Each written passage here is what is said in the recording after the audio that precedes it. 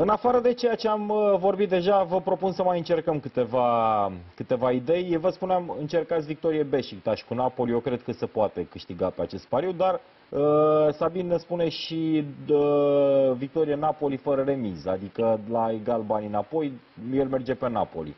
Uh, de încercat aici uh, Benfica, uh, Dinamo Kiev 1, Uh, și uh, pentru asta avem o cotă de 1,54.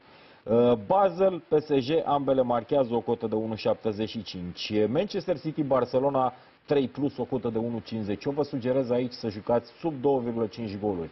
Uh, Ludogoreț Arsenal, peste 2,5 goluri, o cotă de 2 de 1,50, pardon.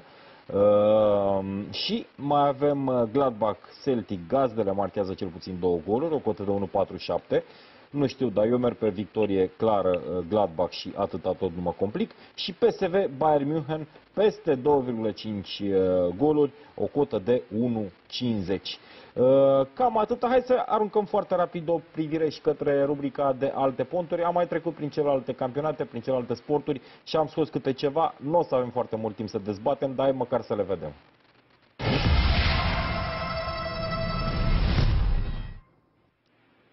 Sabin, începem în Austria 2 foarte, foarte, foarte, foarte repede.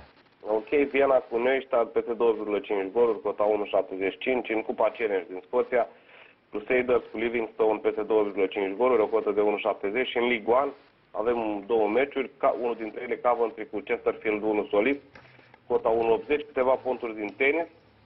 Uh, la BNP Paribas, uh, bineînțeles Paris, Hard în sală, Almagro Müller 2 solist, cota 1,37, Colscheiber cu Soc, Da? uh, victoria lui Soc la o cotă de 1,75, Zverev cu Isner, uh, minimum set al lui Zverev, cota 1,45, Herbert cu Lopez, minimum set uh, Herbert, cota 1,60, Lajovic cu Karlovic, 2 solist, cota 1,35 și avem și două ponturi de, de dublu, din întrecerea de dublu, uh, Benetov Vesplan uh, Cuevas uh, Marero, cota uh, 1 la o cotă de 1,50 și Puil Tsonga, Eisterici uh, Lamazin, uh, 1 solist, o cotă de 1,40.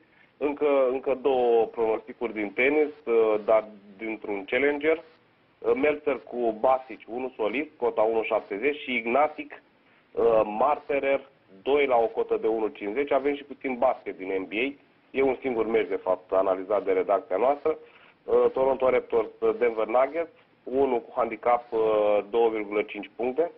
Deci Toronto victoria la cel puțin 3 puncte, cota 1,41 și de asemenea Toronto marchează peste 105,5 puncte, deci minim 106 puncte la această partidă, la o cotă de 1,85.